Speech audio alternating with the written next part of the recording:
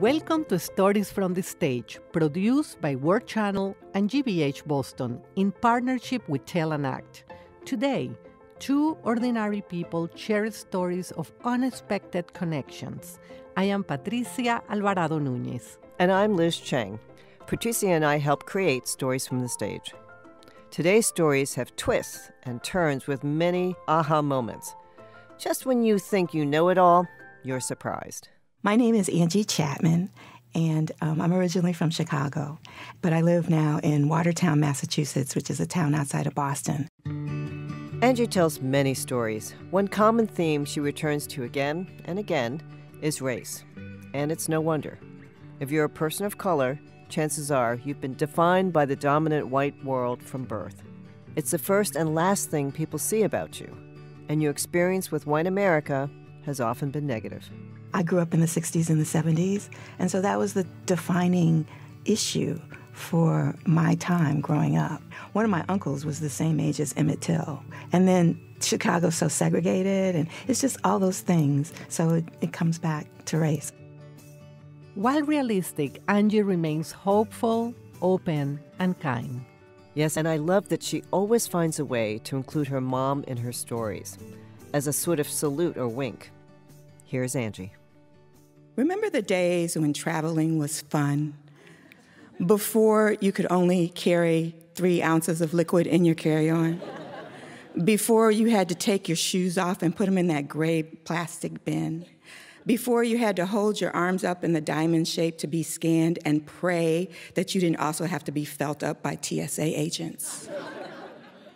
when I graduated from graduate school, I was really into flying because I was finally making money and I had the company credit card. I volunteered for every necessary business trip I could. Does anybody want to staff a trade show in Las Vegas? I do. Angie, we need somebody to go talk to the client in Los Angeles. Okay, I'll go. And how about a training session in the new software upgrade in Phoenix? Yes, just tell me when. The problem was is that I was based in upstate New York. And the good news is that I had to connect through Chicago's O'Hare Airport because that's my hometown. And pre 9 11, you can actually leave the airport in between layovers. And so I would leave, and my mother would drive up from the south side um, in her home and pick me up, and we'd go out to breakfast for pancakes. So I'm on my favorite flight, one time, um, the red eye from LA that leaves at 11:30 and gets into Chicago at 6 a.m. And I'm curled up under the blanket with my book, you know, just chilling with the overhead light. And the seatbelt light goes on, and the pilot comes on and says, "We expect turbulence." And I'm like, "No big deal. I've taken this flight before." But you know how you can smell somebody else's fear, and it's not Chanel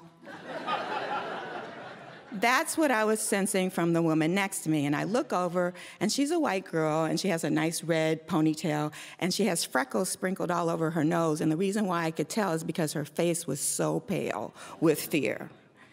And so I look over to her and I said, Are you okay? And she says, We're all gonna die, aren't we? and I'm like, No, we're not gonna die. And she looks back at me and she's like, How do you know? I said, Because when we land safely, I'm meeting my mother for pancakes. and she laughed too, and it gave me that warm feeling like when you see a baby crying, and so you make funny faces till it stops.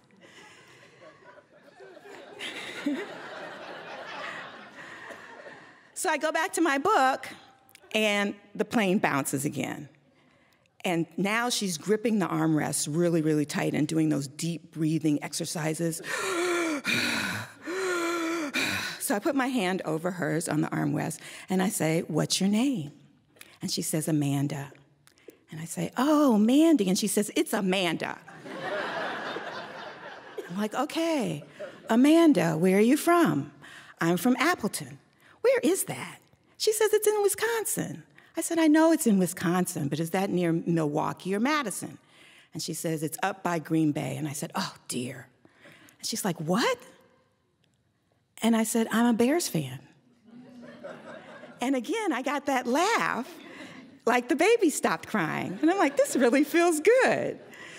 I um, go back to my book though, but this time when the plane hits turbulence, it's so bad I feel it. And so what happens, instead of laying my hand on hers on the armrest, I actually intertwine my fingers with hers. And I just continue to ask her inane questions to keep her talking. And while she's doing that, I'm looking at our hands intertwined like a Benetton commercial for black and white unity and understanding. and I realize that I have never held hands with a white person before.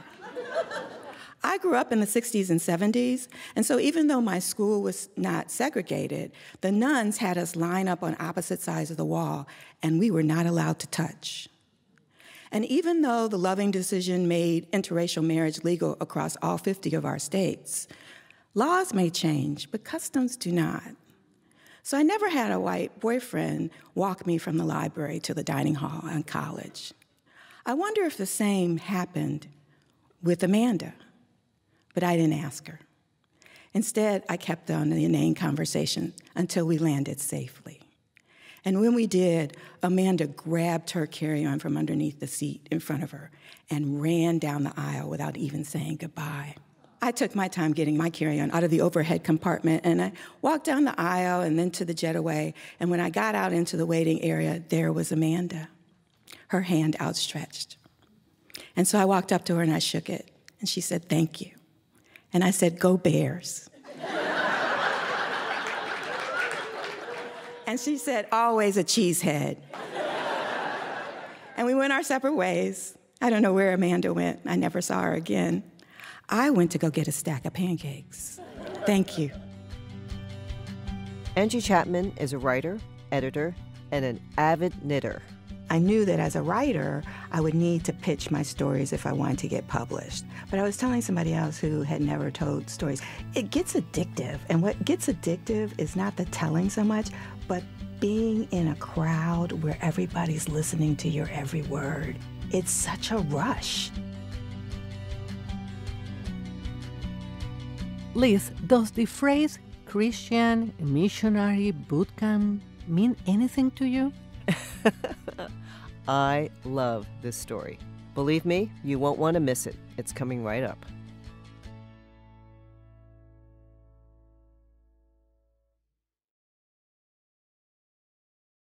My name is Kelli Dunham. I live in Brooklyn, New York, and I'm a nurse and I work in the New York City public school system.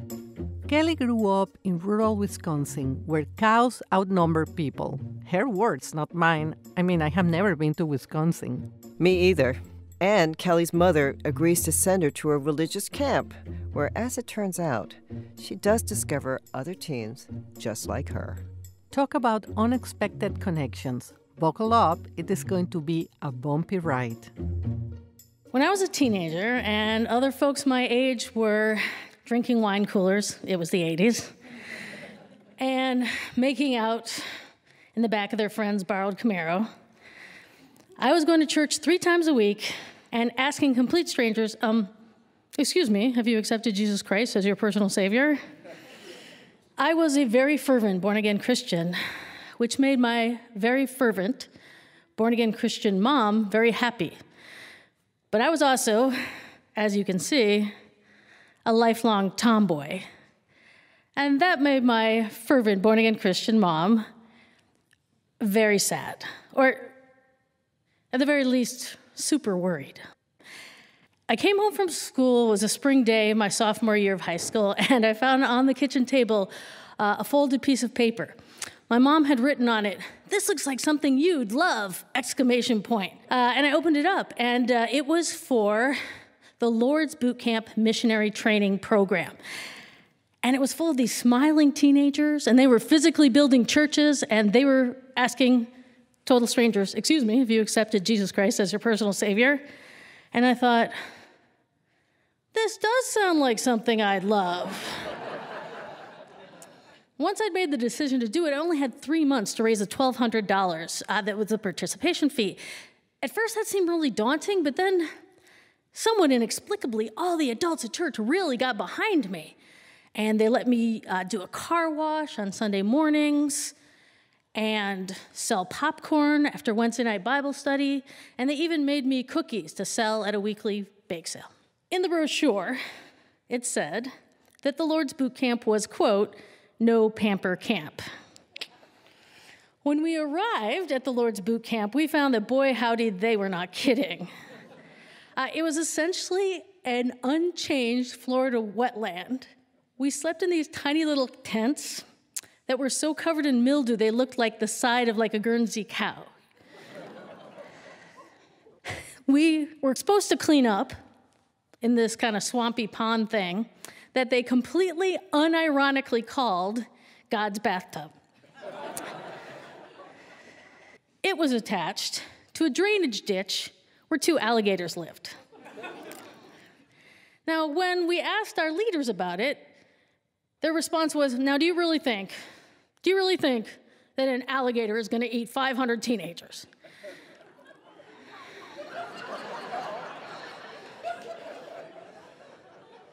I mean, I don't think any of us thought 500. but isn't even one kind of a lot? Every morning at 5, we ran the Lord's Boot Camp Obstacle Training Course. And it was a bunch of biblically named physical challenges that our leaders said would help us develop the personality characteristics that it would take to survive as a missionary. The first obstacle was called the children of Israel's luggage. and it was a whole bunch of decommissioned wooden artillery boxes. They were filled with sand, nailed shut, and then they had painted the name of a book of a Bible on the side of each box. We approached them, they'd be all in a heap, and then somebody from your team would go, Genesis, Exodus, Leviticus, Numbers, and everyone would scramble to put them in the order found in the books of the Bible. The last obstacle was a series of six foot walls that were painted with the names of sins that we would have to get over in order to serve Jesus. It went pride, gluttony, greed, and then the last wall was named confusion. So, the motto of the Lord's boot camp was get dirty for God, go lay a brick. So, we learned lots of construction as well. I learned how to hammer nails without hitting my thumb and saw a straight line. Uh, and I learned how to tie rebar and lay bricks and mix cement by hand. So obviously, I was kind of having a great summer. I mean, it was a whole summer of being a tomboy. Now, the only thing that I didn't super love, it just seemed kind of random, was every afternoon they split us up by genders, and the boys went to a class called God's Gentlemen. And according to the boys, what they learned was mostly about how to attract a Christian spouse. Uh, mostly that was choosing the right activities, like sports were a good idea, and theater, not so much. The girls' group was called From Grubby to Grace. And it was mostly about being ladylike and grooming. There was a whole section on makeup, and it started with a quote from the Lord's Boot Camp founder. It said, If the barn looks better painted, why not paint the barn?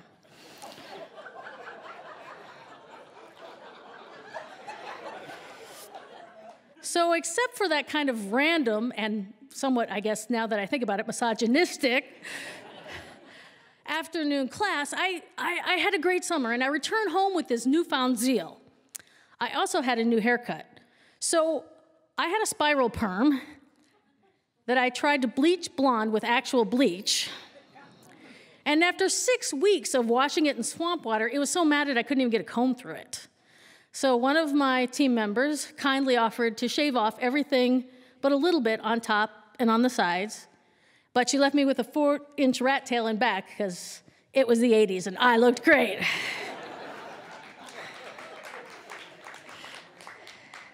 I also had all these newfound muscles from all our hard physical labor building God's kingdom. So I dragged, as you can imagine, my extremely smelly backpack onto my mom's front porch. And I said, Mom, don't I look like a new creature in Christ? And she said, you look a lot the same. And she had a little tear coming out of her eye, and I thought, oh my God, that's so sweet. She really missed me. I've been an out queer person for 20 years, and I've been telling this story socially to illustrate what it is to be a born again Christian teenager. I did not know until last summer when I was Googling the Lord's Boot Camp. I wanted to show my girlfriend a picture of the obstacle course. I didn't know what you guys already probably have an idea. So I haven't confronted my mom about this. Uh, and it's not just because she's 86 and she has realized that my tomboy swagger and my girlfriend are here to stay, even though that's true.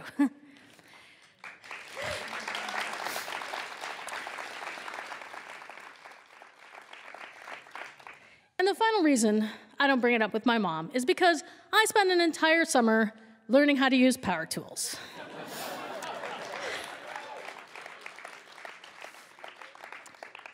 So the summer that was supposed to make me less of a lesbian just made me great at picking up other lesbians. Thank you. Kelli Dunham is a stand up comedian and a nominee for the 2015 White House Champions of Change during the Obama administration. Thanks for listening to Stories from the Stage. I am Patricia Alvarado Núñez. And I'm Liz Cheng. In our next episode, a high school student triumphs over math after years of being shamed at the blackboard in front of her class. Check out more of our memorable stories at worldchannel.org and consider sharing them with people you care about.